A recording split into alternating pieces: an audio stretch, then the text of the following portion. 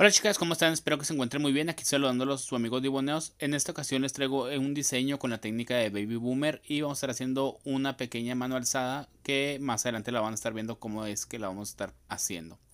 Y bueno, aquí lo que pudieron observar ustedes, apliqué la primera perla en el área de peralte, la estoy difuminando y la estoy aplanando hacia área de punta. Aquí el video sí va más adelantado, chicas, porque el video se me había hecho muy largo.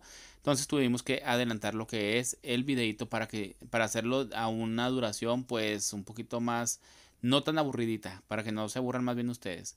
Entonces aquí estamos aplicando la última perla, la difuminamos hacia área de peralte, la área de, punta hacia área de peralte y después de esto vamos a estar haciendo la aplicación del cover que ustedes aquí a continuación lo van a estar observando. Aquí aplano perfectamente lo que es la primer perla de los laterales, de lo que es la donde empieza la primera perla y aquí vamos a estar aplicando este cover que es de la marca de Neo Factory lo vamos a estar aplicando en zona de cutícula con la punta del pincel, chicas. Pues recuerden que ustedes mismas van a ir este, sellando lo que es la zona de cutícula, presionándolo perfectamente con la punta del pincel y con el cuerpo lo van a ir difuminando hacia área de punta. Si ustedes ven, chicas, que su acrílico ya no les quiere correr en determinado tiempo, vuelvan a humedecer su pincel y vuelvan a presionar un poquito más fuerte y a difuminarlo para que el acrílico pues se pueda nivelar o se pueda manejar mejor. Aquí lo que hice yo es presionar, quitar lo que me, lo que me haya subido al área de, cutícula y después vamos a empezar a aplicar esta última perlita que es del mismo cover, lo vamos a difuminar hacia área de punta y lo vamos a difuminar hacia área de, de cutícula, perdón, para eh, aplicar, para que se vea un poquito mejor lo que es el efecto del baby boomer. Aquí en la pantalla se ve casi blanca, chicas, pero no, es un tipo rosadita, lo que es, o rosadito, lo que es el cover, no es café, por eso no se nota mucho que lo que es como cafecito, entonces pues ahí está el detalle. La verdad el diseño quedó bonito, quedó chistoso, es una idea más para que ustedes puedan meter a su mesa de trabajo. Y pues bueno, aquí como pueden observar, aplicamos una perlita más en esa zona de lateral porque había, sentía que ahí me había faltado. Y a continuación vamos a empezar a encapsular lo que es la uña acrílica. Vamos a empezar con una perla grande en el área de peralte. Esta perla la vamos a difuminar un poco hacia área de cutícula solamente para quitarle volumen. Y después lo que sobre vamos a ir llevándolo hasta área de punta. Aquí presionándola perfectamente bien, ayudándonos con los laterales del pincel. Pero a la vez con el cuerpo presionándolo del medio para que vaya agarrando lo que... Para que vaya agarrando la misma cantidad de acrílico en ambas partes. O sea, que los dos laterales vayan quedando el mismo acrílico. Que no nos quede más alto uno que el otro o de bajadita. Aquí ya estoy terminando, voy difuminando hacia área de peralte nuevamente, presiono y difumino hacia punta. Ahí ustedes pueden observar que yo en todo momento limpio puntas, limpio eh, laterales para evitar perder la forma de la uña. Y después de esto vamos a empezar a aplicar otra perla en el área de cutícula y esta la vamos a difuminar hacia área de punta. Aquí la presionamos, la aplicamos, perdón, la presionamos con la punta y con el cuerpo del pincel lo vamos a difuminar. Ustedes pueden observar aquí cómo, yo con la cómo es que yo con la punta me lo llevo de lado a lado sellando a la misma vez el área de cutícula y lo demás lo difumino hacia área de punta. Vamos a difuminarlo perfectamente bien, tratando de que el diseño nos quede lo mejor posible. Vamos a empezar a aplicar la última perla en el área de punta, que es una perla más pequeña, solamente ya para darle el grosor y para que quede encapsulado por completo lo que es la base de la uña. Vamos a difuminar hacia peralte, después laterales, punta y ya al último pues terminamos lo que es el encapsulado, ¿no? Después de esto viene la limada, chicas, vamos a limar los laterales. Oh no, miren, me falta una aquí, me faltó poquita acrílico y después la lo apliqué. Ya después, ahora sí de esto, vamos a difuminar las perlitas hacia ambas partes, acomodando y nivelando lo que es el acrílico. Y después de esto, ahora sí vamos a pasar a lo que es la, la limada. Para limar vamos a necesitar una lima 100-100. Vamos a limar primeramente faldones, después laterales a la forma de lo que es la uña, que en esta ocasión es una punta coffin. Vamos a estar nivelándolo y vamos a estar eh, limando súper bien en recto. Y vamos a estar dando cuadratura a lo que es la punta de la uña. Después de esto venimos con el drill con una punta eh, grano medio, punta de seguridad, eh, carbide en dorado. Vamos a estar haciendo la limada en la zona de cutícula. Recuerden que en la zona de cutícula solamente es hacia un lado o hacia el otro, pero nunca a ambos lados.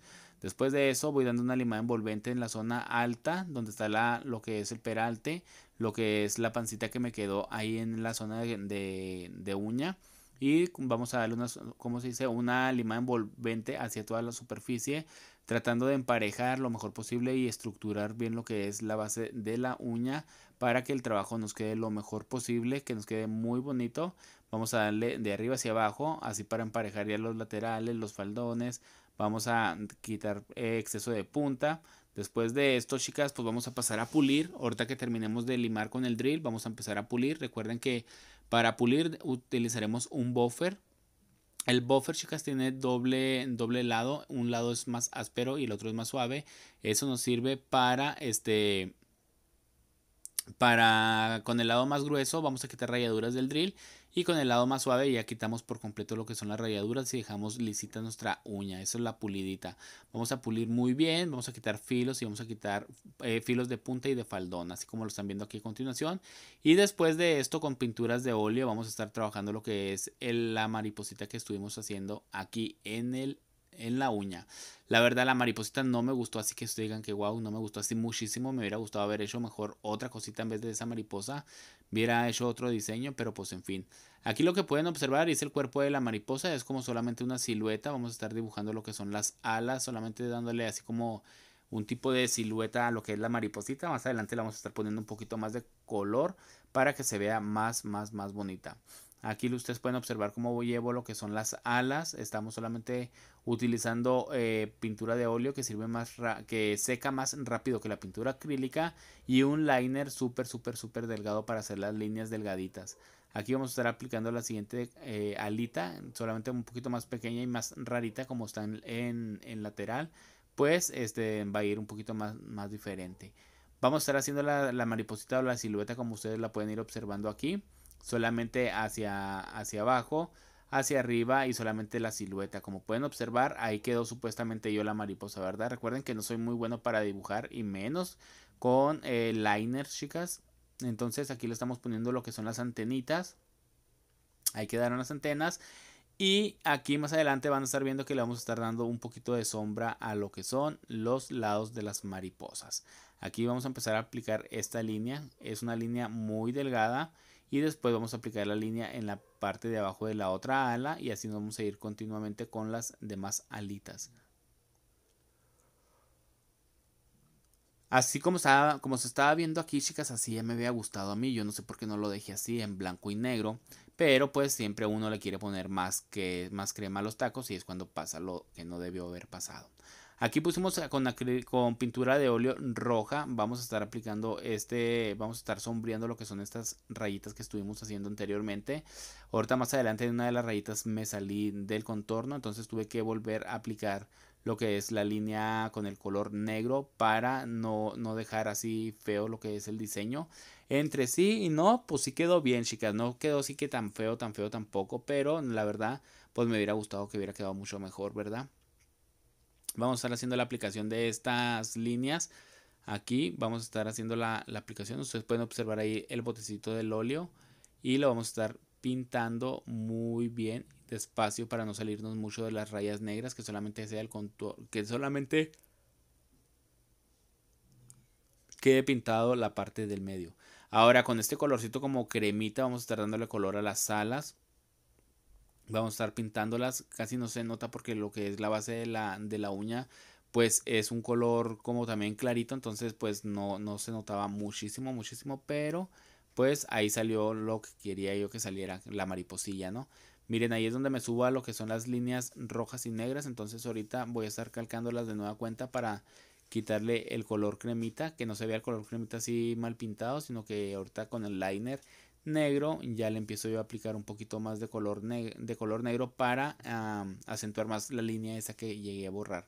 Aquí ya con la pintura me estaba desesperando chicas y después de esto pues ahí ya le quité lo que es la raya del, del color. Aquí le voy a poner solamente unos puntitos con un puntero muy pequeño muy delgadito ya solamente para aplicar el gel Después de aquí vamos a estar aplicando el gel y vamos a aplicar unos cristales y a continuación les voy a enseñar el resultado final. Está bonita la mariposita, se ve chistosita, quedó media rarita, pero, la, pero pues la verdad no me, me hubiera gustado que hubiera quedado mucho mejor, chicas. Aquí estamos aplicando el gel, vamos a estar aplicando el gel para pegar foil, pero yo lo aplico para pegar mis cristales. Vamos a sellar punta y faldones y después de esto vamos a estar haciendo la aplicación de los cristales en zona de cutícula. Aquí vamos a estar aplicando unos que otros cristales para que el diseño tenga un poquito de más brillito en la parte de arriba y pues este se vea más bonito, ¿no? Que se vea más elegantioso. Entonces aquí vamos a estar haciendo la aplicación y ya después de esto yo les voy a pasar a, mostrar el resultado final. Recuerden que después de aplicar los cristales tienen que ir a secar la lámpara y a continuación les voy a enseñar el resultado final de cómo quedó. Este es el resultado final de cómo quedó nuestro diseño con mariposa en mano alzada. Espero que les haya gustado, que se hayan divertido. Y sin nada más que decir, yo soy su amigo Diboneos y nos vemos hasta el próximo video. Chayito Valdés.